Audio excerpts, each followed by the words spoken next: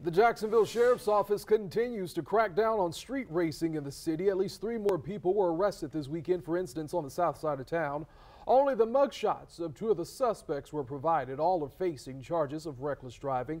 This summer, the Sheriff's Office announced a citywide street racing deployment. And by July, more than 35 people have been arrested and traffic citations totaled $92,000.